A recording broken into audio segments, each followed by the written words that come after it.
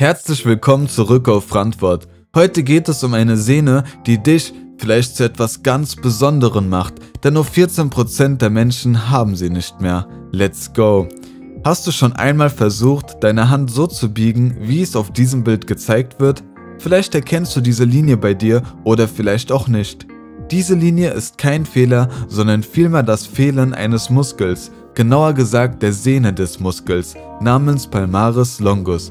Er fehlt etwa bei 14% der Bevölkerung. Wenn du ihn siehst, gehörst du zu den Glücklichen, wenn nicht, bist du in guter Gesellschaft. Die Hauptfunktion des Palmaris longus besteht in der Beugung des Handgelenks. Interessanterweise ist dies jedoch nicht der einzige Muskel, der diese Aufgabe übernehmen kann.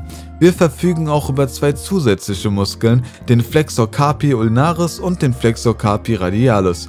Warum also haben einige Menschen den Palmaris longus, während andere ihn nicht haben? Die Antwort liegt in der Evolution.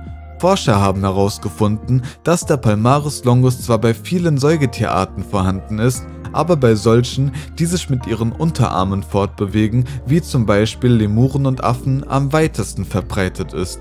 Da wir Menschen unsere Unterarme nicht mehr zur Fortbewegung nutzen, begann dieser Muskel bei uns zu verschwinden. Interessanterweise setzen selbst nahe Verwandte von Primaten wie Schimpansen und Gorillas den Muskel nicht aktiv ein und zeigen daher die gleiche Variabilität.